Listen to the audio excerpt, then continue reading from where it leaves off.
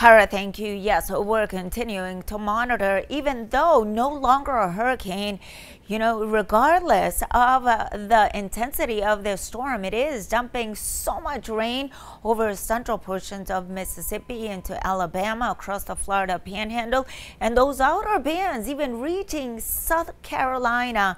That's how unsettled this area is, and it'll continue to pour over this region throughout today into the overnight hours and even into tomorrow, bringing this rain, this heavy rainfall into western portions of Tennessee. In the meantime, Tropical Storm Francine is expected to weaken, but it is maintaining tropical storm status with 45 mile per hour winds. It is expected to move north and eventually weaken to a subtropical system as we head into tomorrow.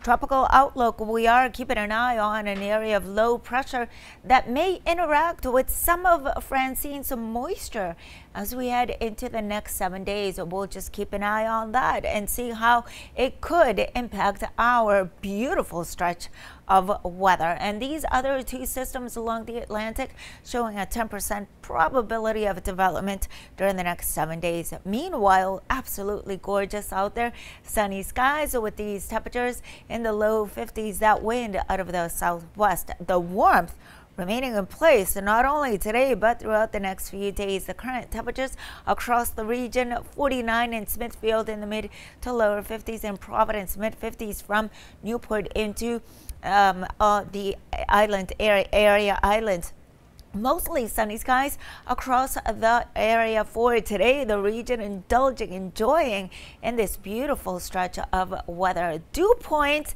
So this is something that we need to keep in mind as we head into tomorrow, especially and over the weekend. We'll be heading into the muggy level of these dew points of the humidity.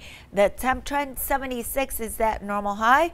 Nowhere in sight upper 70s for today in the 80s as we head into tomorrow through the weekend and even into the beginning of next week.